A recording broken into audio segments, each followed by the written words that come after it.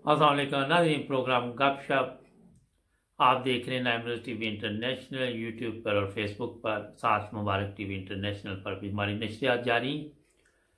आज मैं एक वाक्य आपको सुनाना चाहता हूँ कि ये पीछे आप एक बुज़ुर्ग औरत है, इसकी तस्वीर देख रहे हैं।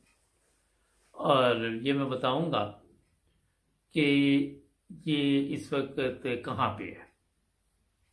हुआ ये कि इसके दो बच्चे, एक बेटा और एक बेटी।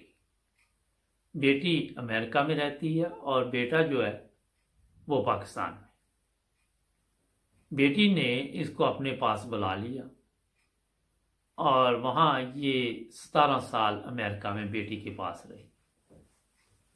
अब हुआ ये कि जो इसकी बेटी है उसकी भी एक और बेटी आ गई जो सोलह साल की।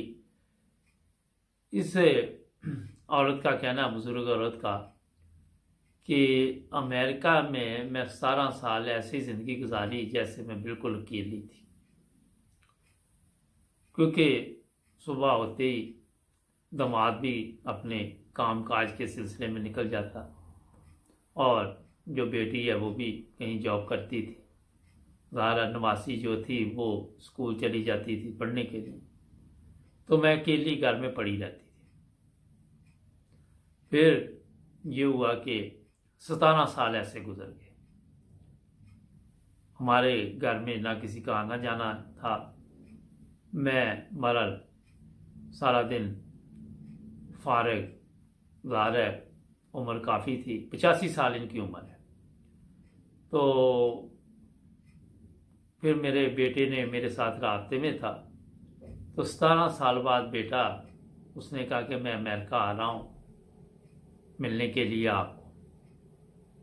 तो कहती, जब मैंने ये सुना तो मुझे बड़ी खुशी हुई कि मेरा बेटा आ रहा मिलने के लिए। और फिर वो दिन भी आ गया कि बेटा अमेरिका पहुँच गया। अमेरिका पहुँचा तो मैंने जब वो आने लगा था तो उसे ये कहा था कि मेरी भी टिकट का बंदोबस्त करना, मैंने आपके साथ पाकिस्तान वापस जा रहा तो जनाब, ये हुआ कि वो अमेरिका आया, कुछ देर रहा वहाँ पे।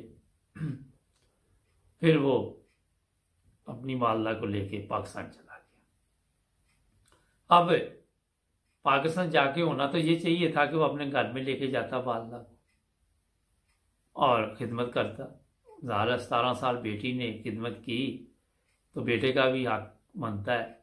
यहाँ मैं एक चीज़ आपके लिए वाज तौर पर बता दूँ कि जो वालदेन इस तरह बूढ़े हो जाते हैं, ये बेटों का काम होता है उनकी खिदमत करनी। और बेटों के घरों में जो वाल वालदेन होते सॉरी, या वालदा या वालद, वो इज़्ज़त से रह सकते हैं। इज़्ज़त से इस तरह ये नहीं होता कि बेटियों के घरों में इज़्ज़त नहीं होती, मगर वहाँ ये लोग शर्माते हैं और कई मसले बन जाते हैं ज़ाहिर दमाद का घर है, कई ख्याल आते हैं। मगर जब ये बेटों के घरों में रहती हैं तो वहाँ इन्हें फ़ख्र होता है कि हम अपने बेटे के घर में। और इसी तरह ही होता है जैसे माँ अपने घर में बैठी हुई है। ये बात वैसे मैंने आपको बता दी, इससे इसका वैसे तल्लक नहीं था। अच्छा जनाब, वो हुआ ये कि जब पाकिस्तान इस्लामाबाद ये उतरे तो इसको ओल्ड होम में पहुँचा दिया गया। सीधे ही घर लेके किया ही नहीं वो बंदा, इनका बेटा। और ये पचासी साल की खतून इस वक्त ओल्ड होम में इस्लामाबाद, पिंडी है इस्लामाबाद। वहाँ ज़िंदगी गुजार रही है तो इससे जब पूछा गया तो वो कहने लगी कि मैं अकेली तो हूँ, मगर इधर और भी लोग हैं, ज़ाहिर है ओल्ड होम में बेशुमार लोग होते हैं। तो पूछा कि कभी वो आपको अपने घर नहीं लेके गया? तो इसका कहना था कि नहीं, वो मुझे घर नहीं लेके गया। और मुझे यहीं मिलने आ जाता कभी कभी और बाकी की ज़िंदगी वो कहती कि मेरी यहीं गुजरेगी। जब उसे बताया गया कि यहाँ बेहतर है कि पाकिस्तान में अमेरिका में तो उसने कहा कि अमेरिका में लोगों के पास टाइम ही नहीं ठीक है, अमेरिका एक अच्छा मुल्क है, सफ़ाई है साफ़ सुथरा है, हर लिहाज से बेहतर है, मगर ये मेरा अपना मुल्क है। यहाँ चलो, मुझे और नहीं तो कोई लोग मिल तो जाते हैं जिनके साथ मैं बातचीत करूँ। और वक़्त अमेरिका से बेहतर गुजर जाता जब इसे पूछा गया कि वहाँ बेटी की याद नहीं आती, वो कहती, याद तो आती है, मगर फिर भी मैं अपने मुल्क में रहना चाहती नाजी ये औरत जो आप देख रहे हैं, थे या देख रहे हैं, मसाल में ये आपको देना चाहता हूँ कि ऐसे हालात लोगों के घरों के बने हुए हैं कि वो अपने वालदेन को अपने घरों में नहीं लेके जा सकते। अपने वालदा, वालद को अपने घर में क्यों नहीं लेके जा सकते? वजह ये है कि जो वाली होती है, खतून, जो बीवी, वो पसंद नहीं करती। अपनी वालदत वालदा को तो वो पसंद करती है अपने घर में रखना। मगर ससुराल से कोई आ जाए तो वो उसको लिए फिर मुसीबत बन जाती है। तो ये चीज़ें जो है हमारे माशरे में इस वक्त जिस तरफ़ लेके जा रहा है बर्बादी की तरफ़ सबको नज़र आ अब जो औरतें अपनी सास की या ससुर की खिदमत नहीं करती, उनको घर में नहीं आने देती या वो नहीं जाते, आखिर में उन्होंने भी बूढ़े होना उन पे भी वो वक़्त आना है। और जो बहू घर में देखेगी, वो कल उनके साथ भी, उससे मेरा ख्याल है अच्छा सलूक तो नहीं करेगी क्योंकि उसके जेन में भी ये फिर सिस्टम जो है नस्ल दर नस्ल चलता रहेगा। और लोगों के मसाइल, जो बूढ़े लोग हैं, वो तो इस दुनिया से चले जाते हैं अपने वक़्त के साथ साथ तो सबने जाना मगर ओल्ड होम में जो बेटा अपनी माँ को अमेरिका से सीधा छोड़ गया, उस पर भी अफसोस है। और ऐसे तमाम लोगों पर मैं सिर्फ़ अफसोस ही कर सकता कि एक शर्म का मकाम है।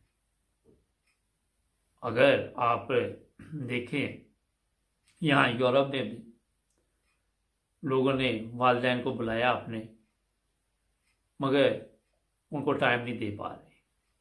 उनका ख्याल नहीं रखते। बेशुमार ऐसे केस सामने आते हैं।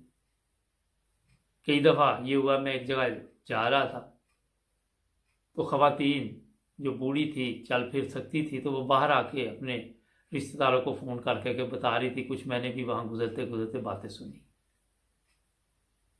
हमारा माशरा किस तरफ़ जा रहा है? क्या इस्लामी तलीमत यही है? हम वैसे तो सारे ही, आप देख ले, नमाज़, कुरान, और भी बेशुमार ऐसे काम करते हैं। मगर क्या इस्लाम में ये चीज़ें भी हैं कि नहीं है कि अपने वालदेन का ख्याल रखें? उनको ओल्ड होम में अपना भर्ती करवा के तो आप खुद सोचते हैं कि आप कौन से रहेंगे, मगर आने वाले वक्त में आप भी ओल्ड होम में जाएँगे। हो सकता है आज तो ओल्ड होम का नक्शा कोई बेहतर है। आने वाले दिनों में क्या हो पाकिस्तान में या हिंदुस्तान में या दुनिया में।